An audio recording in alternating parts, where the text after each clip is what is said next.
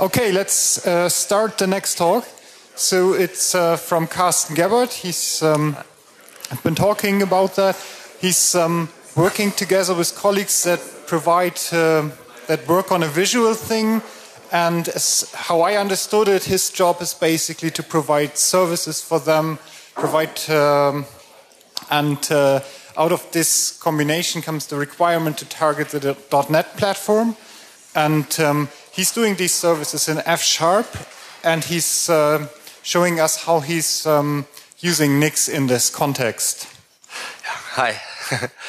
um, yes, this is basically, I should probably begin by introducing myself. Uh, I'm Karsten Gebbert. I work for a company called NSync GmbH. That's a very small company here in Berlin and Frankfurt, in fact and we uh, I should probably say uh, this, if you want to look me up that's how. Um, so I work for this company and I have a background in not in computer science but uh, actually in the arts and music but I later came to realize that computing is much more fun. And went on to uh, uh, become a programmer and ended up uh, yeah in this um, whole web programming thing. But uh, recently I changed uh, jobs to this company, and basically what um, we are doing there um, is oh, actually maybe I should continue. I, am really into functional programming. Obviously, that's uh, kind of why there was this little cute lambda thing. Um, uh, mainly because I went actually to the Netherlands last last year for a course in uh, in Utrecht in um, uh, to learn Haskell, and that's uh, that was actually a pretty excellent experience. Um, mainly interested in systems programming nowadays, distributed computing, uh, a little bit of the web, not as much as I used to, and um, audio visual. Um, yeah, that's it's actually quite interesting to me. And uh, yeah, I only recently started to use NixOS properly. I tried it out. Uh, I think it was a year ago, and then I had to had to give up because uh, it, I just couldn't really. I didn't have the headspace to figure it out for myself. So, but yeah, so I'm a very new um, user of this, and so uh, it's very interesting for me to have seen all the talks already. They have been very enlightening. Um, yeah, so now I'm going to talk about the company that I work for. Basically, uh, we uh, our main uh, business uh, domain is the uh, is um, exponents, or how do you say it? Uh, you, um, you have fairs and you put little pieces of um, yeah of interactive inter installations that people can play with and um, we put together these exponents as well as we we make shows in this particularly um, interesting but weird little programming language called VVVV. Uh, there you can see a little screenshot. It's it's visual programming, so you connect the boxes to uh, wire up the logic, and um, then you can see uh, it uses DirectX to render stuff, or it can use anything to render, but mostly DirectX. And so my job in this company is not this.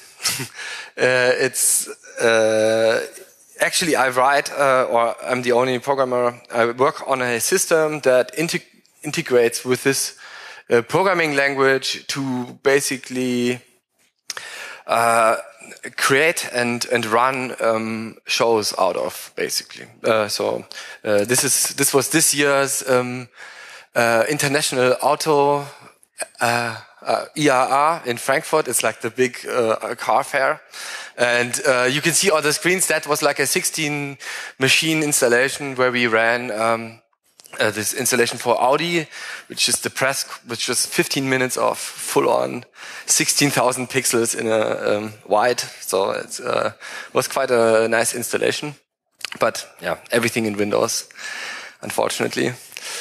But um, this is actually, but now that I know that that there is um, support for Windows and uh, I have heard about Disnix, it's um, actually this uh, looks like uh, the way forward to deploy our things. But anyways, yeah. So this is the this is kind of what we what we do, um, and yeah. Uh, okay, so what I'm talking, what I'm, uh, I would like to go over what I I'm going to do now is basically I think I uh, I proposed this as a talk about microservices, but and deployment, and and then I realized, hey, actually, um, developing um, with the .NET platform on Nix is ac is actually you can do it, but it's it's not integrated into Nix um, at this point at all, or not much. There is a little bit of work done, but it's um, uh, but it's uh, somewhat orthogonal to the workflow that I have and many uh, .NET people have. And so I'm going to, I, I, realized I have to actually speak about, I have to do something more about um, how to integrate the .NET platform into Nix. So such that it is a workflow that, that might actually work for people who have to develop for .NET. So, um, so uh, yeah, I'm going to give an introduction on this, how I went about it. I want to uh, again repeat: I'm not an expert or in uh, Nix or F Sharp uh, yet. Um, so I'm sharing my personal experience and impression impressions that I gathered while um, having worked with it so far. And uh, yeah, my approaches obviously have a couple of rough edges. So uh, help me improve it if you can. And it's my also my first talk. So criticize me, but gently. um, yeah, so what? Uh, let's explore some basic aspects of F Sharp. I think that's quite worthwhile because it's actually, um, even though it's uh, it comes from Microsoft, it's actually uh, quite a, a, nice language. It has some really beautiful parts, uh, and yeah, that's something I would like to show you. Uh, then, um, yeah, let's briefly look at some a sharp chord. Of, obviously, that makes sense in this kind of talk. And uh, I think what's more relevant to most of most people here uh, in the audience is um, uh, examine strategies how to package uh, applications and libraries um, for Nix because I ended up doing quite a bit of work on that um, in the process of preparing the talk.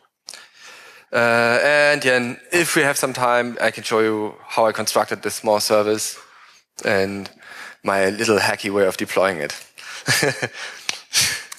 so uh, yeah, what is F Sharp?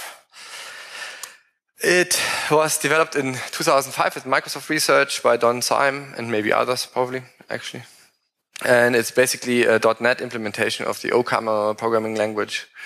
Uh, it's uh, functional first, strict, um, but actually a multi-paradigm programming language, meaning it integrates ob object orientation into it. Uh, it's um, uh, as well as functional um, uh, programming patterns. Um, it's a first-class citizen of the .NET ecosystem, so it has, yeah, it's fully supported. It can uh, talk to um, other uh, um, libraries written in other .NET languages, so the interop is very good and which lends itself to actually a really big ecosystem of existing code that is, um, and that's quite valuable.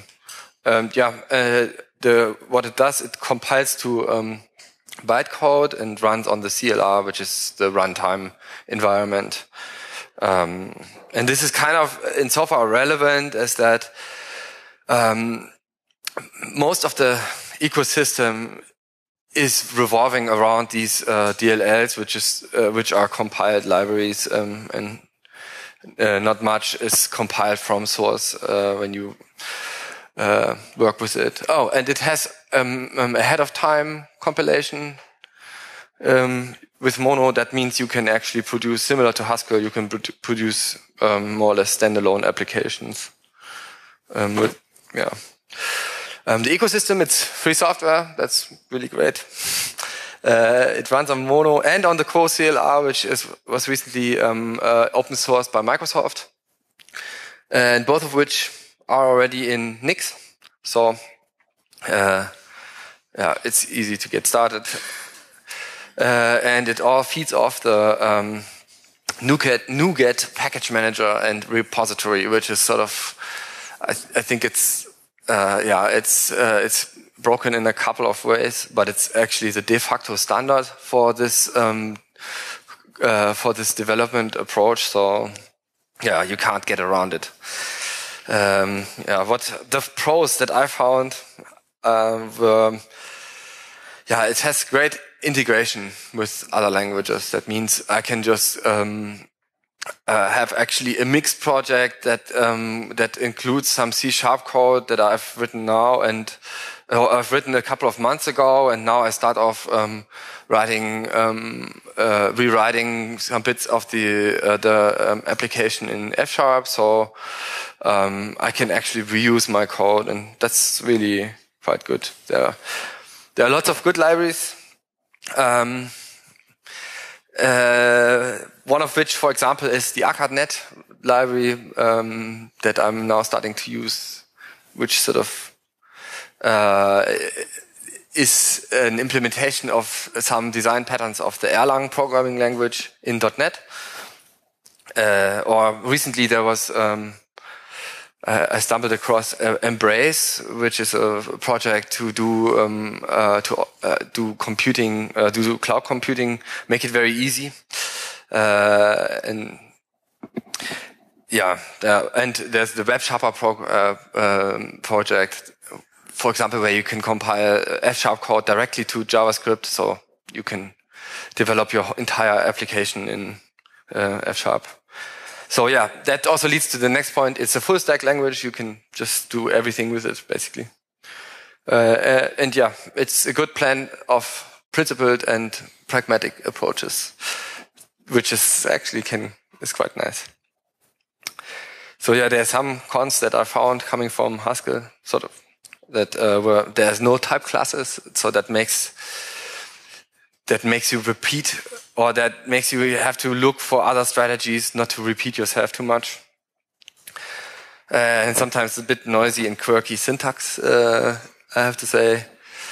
Uh, that's one of the main things that kind of uh, made me flinch sometimes. Um, yeah, and it does introduce some new nomenclature for um, rather common things like monads.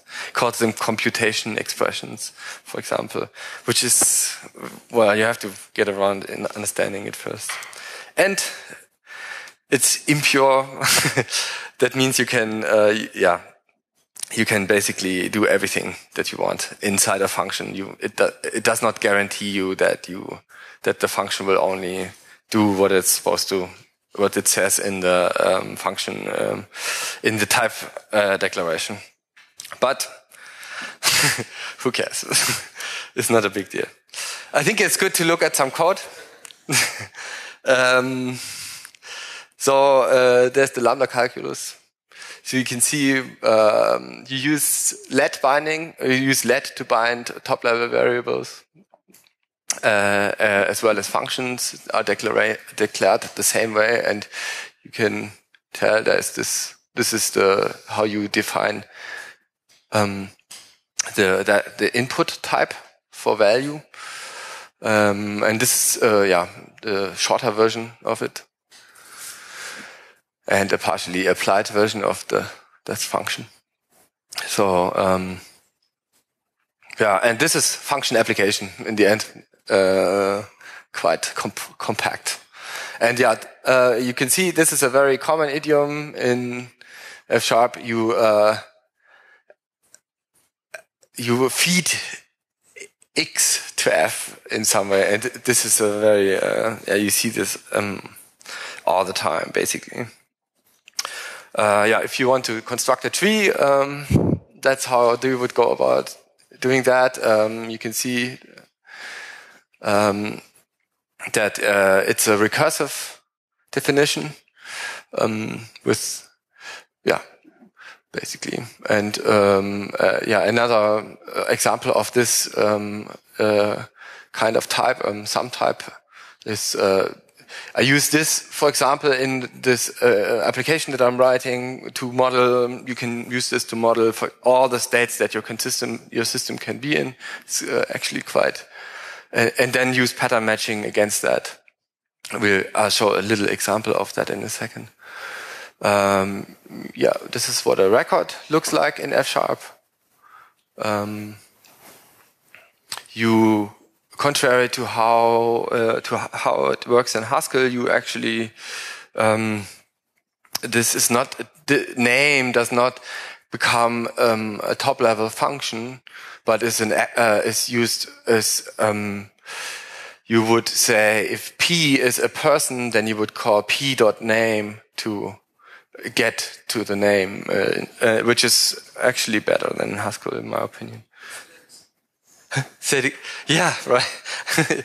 yeah, exactly. Uh, uh, there's a common option type, uh, you know, from Haskell as well. So, and uh, an alias for a tuple. So yeah, that's quite, and it has classes. Wow. um, actually, yeah, what can I say about this? Um, I mean, I guess you you see you, you, define some fields here and assign some default values to it, and uh, as normally in .NET you have these, or in C Sharp as well, you have these you define properties uh, which you can get and set. Uh, uh, yeah, and yeah, some interaction with an instance of that class. Um, yeah, and pattern matching, which is uh, sort of a very nice way um, of uh, destructuring values, um, where you can uh, uh, uh match on the construct the, the data constructor of a type in this case an option type, uh, and it's um, in the value that it encapsulates and do things based on that. Yeah, it has um, modules, also very nice. You, I mean, just like in most other programming languages that are relevant. Um, I guess actually that's not true. But um, yeah, the modules you declare them like this, and then you can have multiple of these in a file uh, and uh, or you can use it in a top as um, uh, as a top level declaration, and you don't need all the indentation, which um, but then it encompasses the entire file. Um, yeah, and there are namespaces which are it's yeah it's uh, it's another way to make a top level uh, a, a namespace and then have subsequently more modules in there. Um, yeah, there are a bunch of cool things to that uh, could we could look at, but maybe it's actually um, yeah that I leave to the reader, I suppose.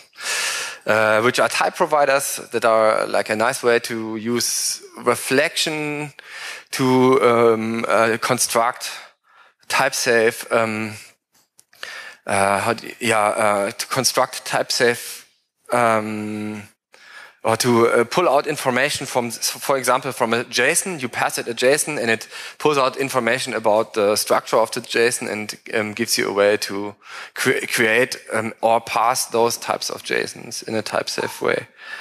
Um, but there are yeah many different type providers out there. Um, yeah, monads or computation expressions in F sharp would be interesting to look at, but um, uh, uh, qu quotation in the reflection is actually quite nice because you can have compile time and also runtime metaprogramming. Um, and un units of measure are quite uh, deeply integrated into the language.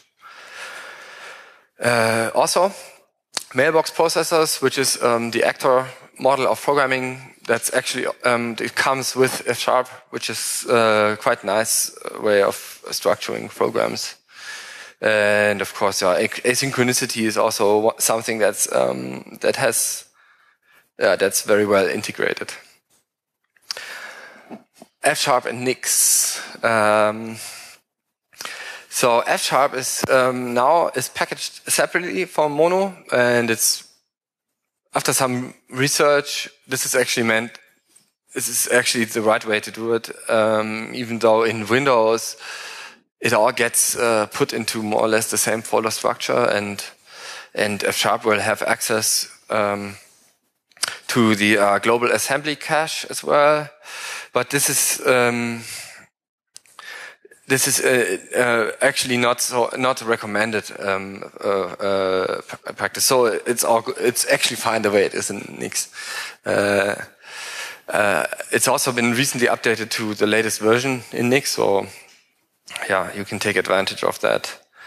Um, yeah, uh, as I already mentioned, um, usually package management in F Sharp or in .NET is done um, with NuGet and your favorite IDE, and you don't actually do any of this manually, which makes it a really big pain because I don't usually, I don't really like using IDEs and uh, and uh, that made me had I had to switch back to MonoDevelop um, in order to uh, uh, get started on a project on a different computer or in order to update the dependencies.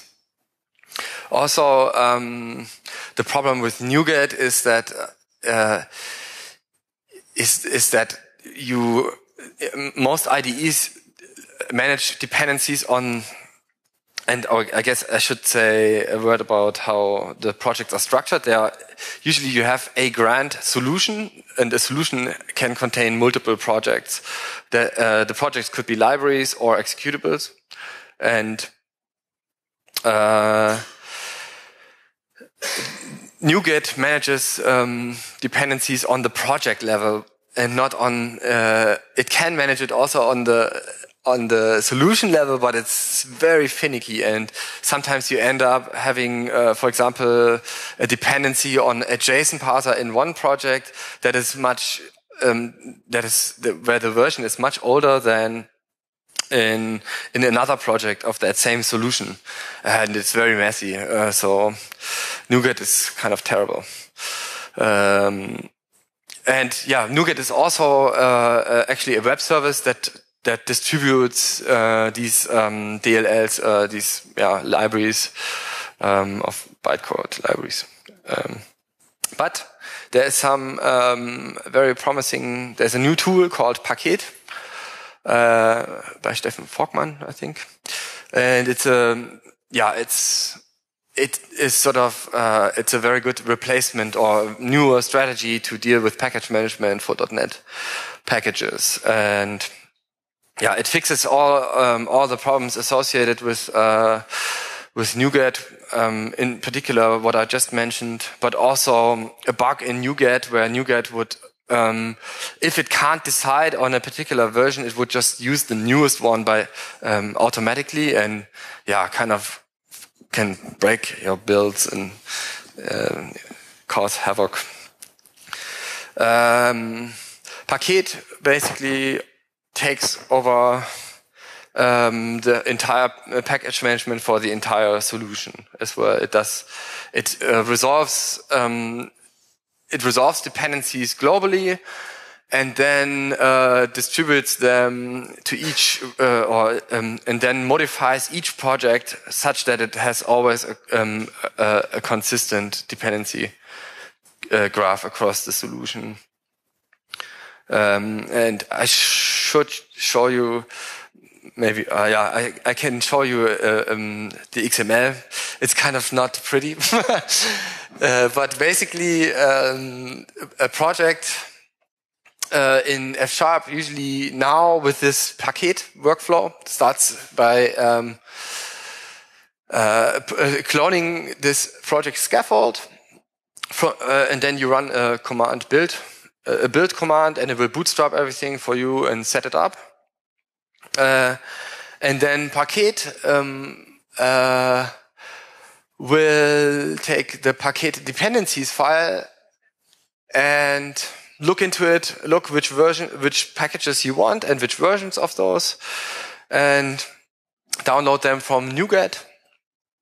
fix all the versions in uh, the Paket log file, similar to uh, the uh, um, gemfile.log, for example, for Ruby is, or I think, I think there might be similar um, uh, strategies out there uh, um, for other package managers. And then uh, we'll write, the, will modify the project file, FS, the FS project file to reflect where to find to, to tell it where to find all the dependencies um, for that uh, project and also it will create this Paket template file and um, yeah uh, so then the build tool goes goes into uh, it looks into the fs project file and looks where it finds all the um, references that are used in the project to compile it and uh, it will find okay Paket has put them in this place and uh, yeah, it'll be able to do its job.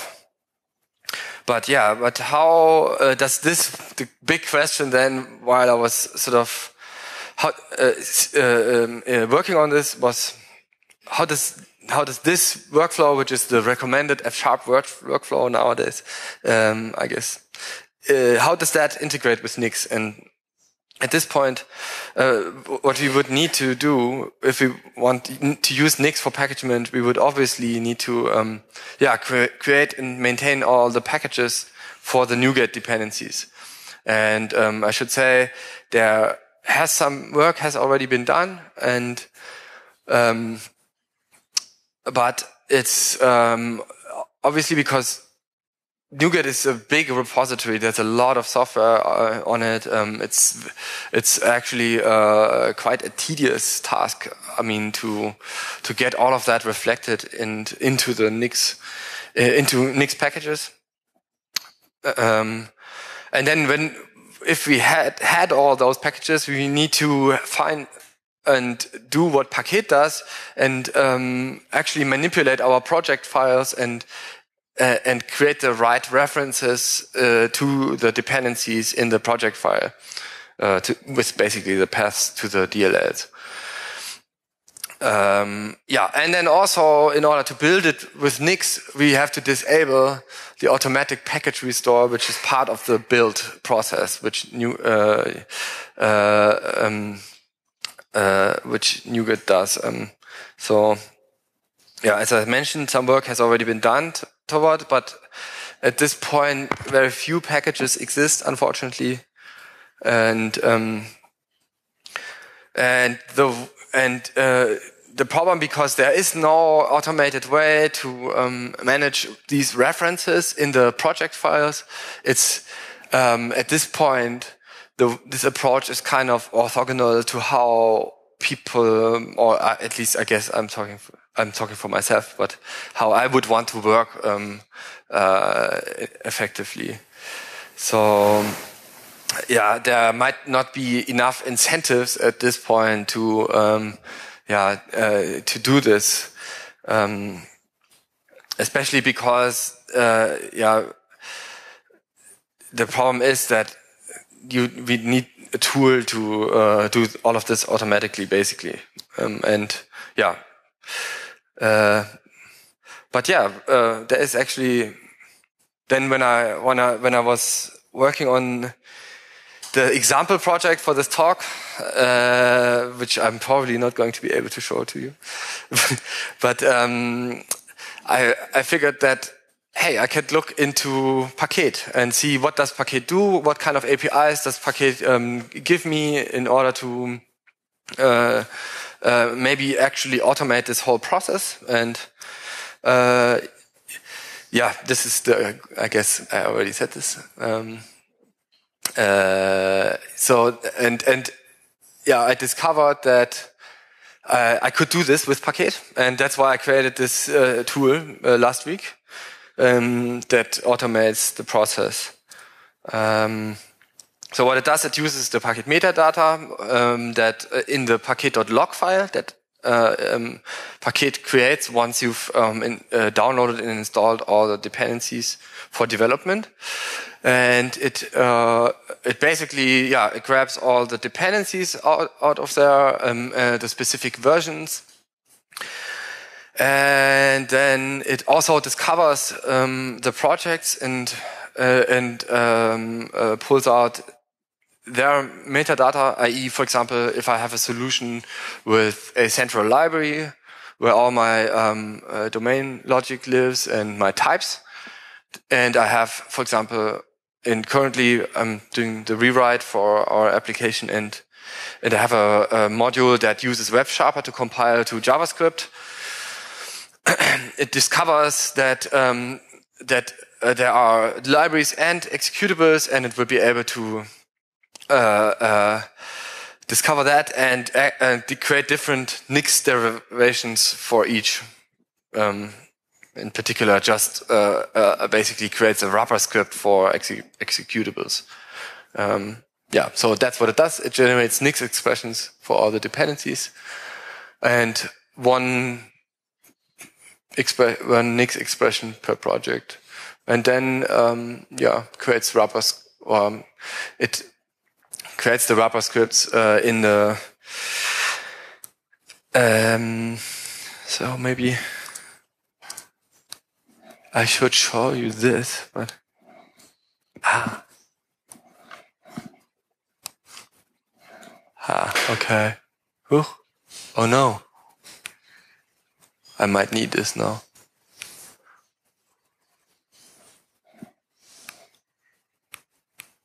Ah.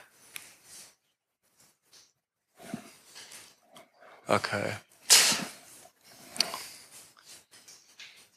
Uh, let's make it a bit bigger. So this is the project.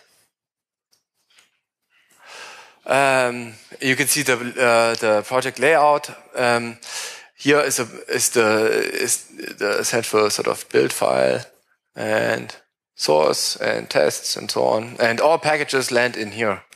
So that's that's what Paket does, and uh, Paket2Nix has some dependencies. I can show you quickly. Uh, Paket.dependencies. And you can see, yes, I depend on Paket core and I had to pin the version because I, there are some additions to the public API that I needed to make in order to get this working. Um, yeah, and maybe show you the in the source uh, for the paket.nix um, executable. Uh, you can see there is a references file. Ah, no. Paket references. And what I use is I use Paket core. Obviously, that's my main dependency. And F sharp core because uh, actually I don't need that strictly speaking anymore. Uh, and this Paket template file, which is also in every uh, every uh, top level uh, in every project in a solution, um, you can there's there's some metadata specified for that particular pa package. So um, if I went on to Nixify this project, um, uh, then what I would do is I would build it first, uh, obviously and there's all kinds of stuff happening. Hope it builds. ah, okay. Yes, I don't have internet. That's bad. uh, oops, sorry. then, then this will actually fail. I'm sorry. Um, because what Paket.nix does uh, is it um, actually it goes through all the projects, gets all that metadata, and then it goes on to new, the NuGet, NuGet repo repository to download all the packages and create the SHA 256 sums for it. But um, yeah, I can't access it. Uh, that's um, unfortunate. I wish I could have shown you. But anyways, uh, and once this process is done, there's a, a, Nix directory with the top level, with a top level Nix expression that um, that I can execute to install uh, the um, project into to build and install the project and its dependencies into the store. And um, yes, so uh, actually, and um, yeah, this is my sort of this was the main outcome for, of my research for this talk was basically okay i shouldn't really talk about necessarily about how to create a service which i did though and i, I can show you. But um, make this proposition that this could be actually quite a viable way of working um, with .NET on Nix, and um, and it would actually uh, and it could be an approach how to uh, start um, uh, getting the .NET um, platform, getting better integration for the .NET platform on uh, into uh, into Nix, and which I think is is is good because sometimes you have to write software for it, like I do, and uh, it's not too bad, and I think there's some value to it. Um, but um, yeah, I think since I, I, wish I could show it to you, but uh, since I can't, uh, maybe I can show you quickly the uh, example project.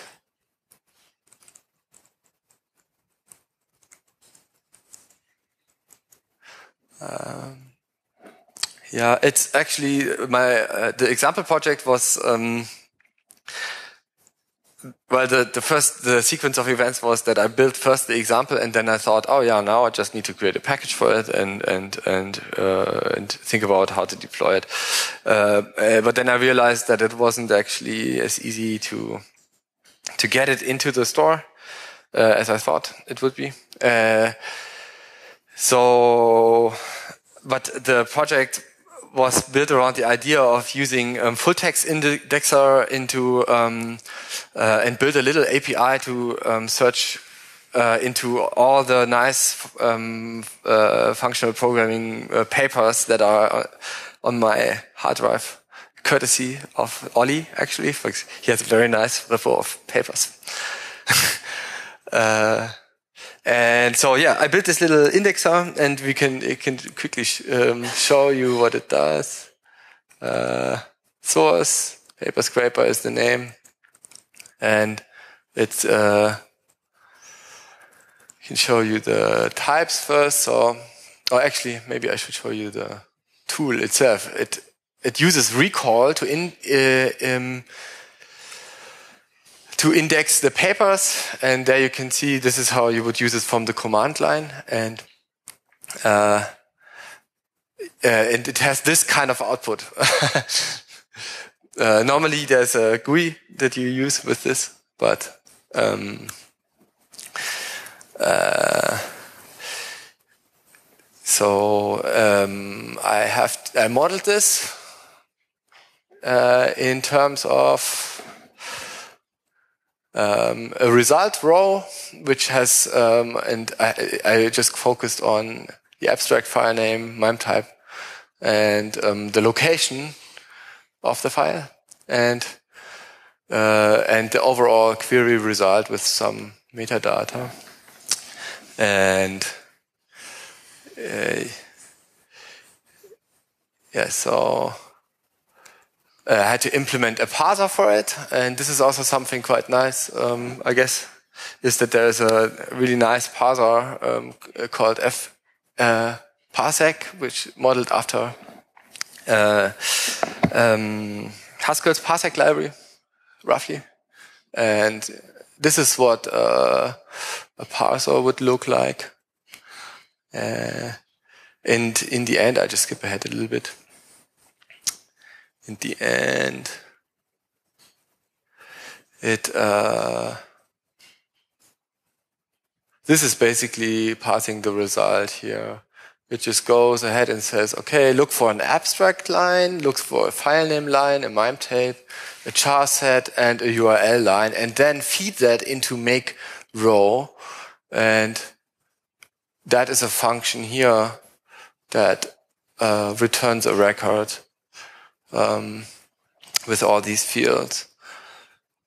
And then down here, there's just some wi wiring up where I start the uh, command line process and um, uh, uh, return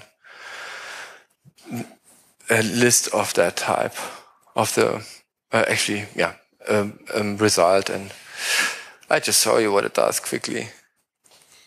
Um, uh, there's the service and um, now I need to get this across there, I guess. Oops. Ah, that's actually, let me do this, do this here. Uh, I need to start it again. No. Okay, and then here I can use curl and say, okay, I want to search for everything. Uh, for example, and feed that into a pretty printer. Python, um, uh, JSON, yeah, and you see, um, you have a little API uh, for the full text indexer uh, into the all these papers. Yes, um, I think since I couldn't, um, I think the takeaway that I would like to probably propose is that um, is that it's F sharp is actually a really nice language in my opinion, and quite a few other people exist and uh, that think the same. And I think it would be nice to have better support uh, in uh, Nix for it. Um, and I, yeah, I'm looking forward to um, yeah feedback, but also to improving yeah my approach to it, maybe with your feedback. Um, and yeah, if you have any questions, maybe now would be the time. Okay, so we have uh, only one and a bit of a minute left, so we can only have one question.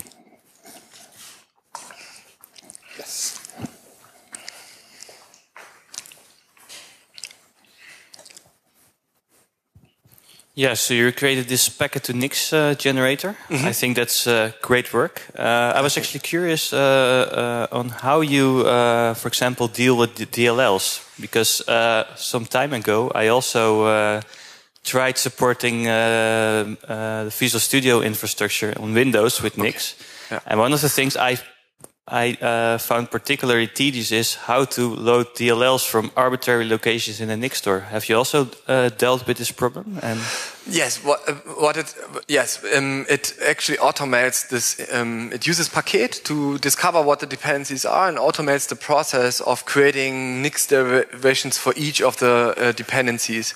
And because Paket actually manages um, uh, um, Paket basically puts everything into this packet, package directory and uh, the derivations, um, the, uh, the derivation for the program that you wrote uh, expects, uh, has a section where it references each dependency in that package directory. And what it does is that uh,